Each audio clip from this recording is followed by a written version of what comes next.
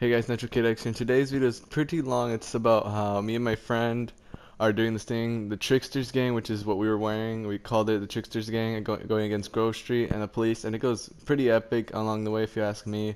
This video is a little bit long, and I have to be, give a big shout out to Assassin Reaper 713 because he helped me a lot with this video, and I would have done this. It wouldn't be as good with without him. And also there's some in between clips there might look like we're missing some space like it just magically appears to this areas because every time I finish the saved a clip it would take forever and it would just not start up until the next thing. And I hope you guys enjoy the video. Please like give a like, comment and subscribe.